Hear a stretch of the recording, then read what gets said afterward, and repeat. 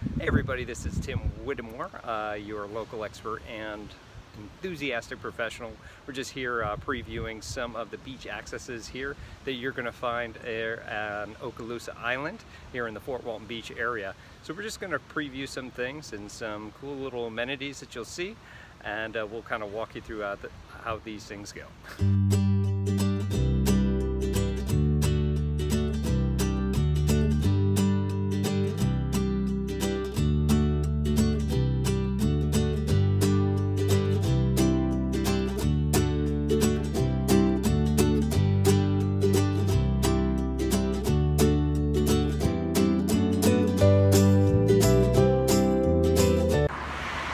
Thing to notice while you're out here and trying to park at the beach, if some of these accesses are filled, make sure you don't park on the street like this guy did.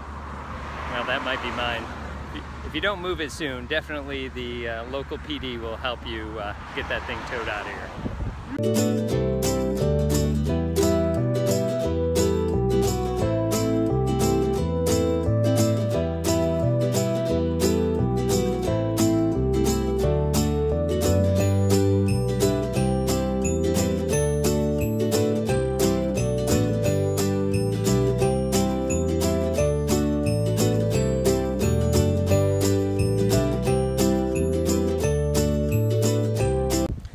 Things to note while you're uh, going to head out to the beach here is as you can see up here, there are some rules that you should probably abide by. Some of the things like no fires, no glass, no alcohol, no animals that aren't service animals, and of course, no disorderly conduct. Well, let's keep it peaceful here.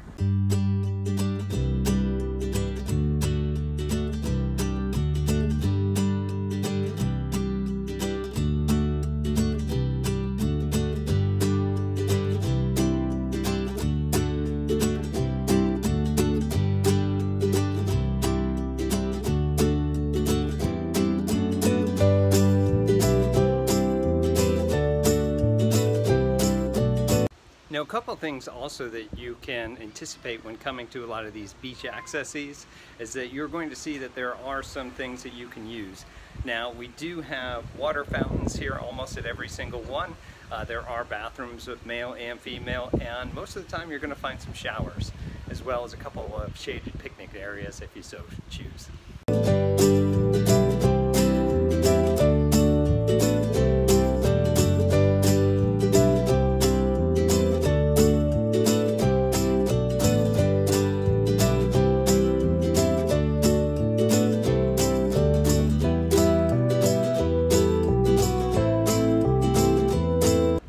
Now some other things to know while you're going out to the beach, as you can see it does have a composite here for, for the wood while you're walking out here.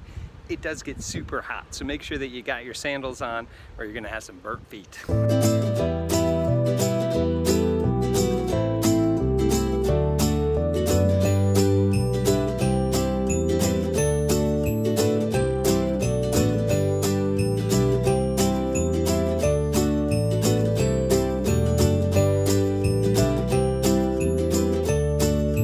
Now, if you're thinking about getting married on the beach, and that was always something you wanted to do out here, just make sure you have to do some coordination.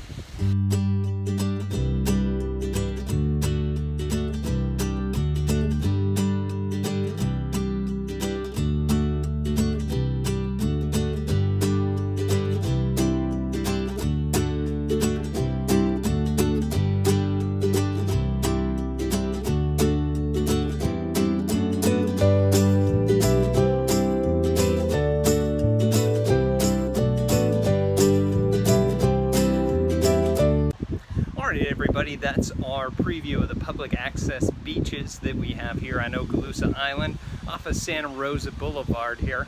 Uh, we saw access 1 through 7 today. Uh, also note uh, that there are some other accesses on the island that you can go to that don't necessarily have facilities or a parking lot, uh, but they are kind of intermixed between the two just in case you need a quick drop off. Things also to note, make sure of course not to be parking on the beach outside the designated parking areas.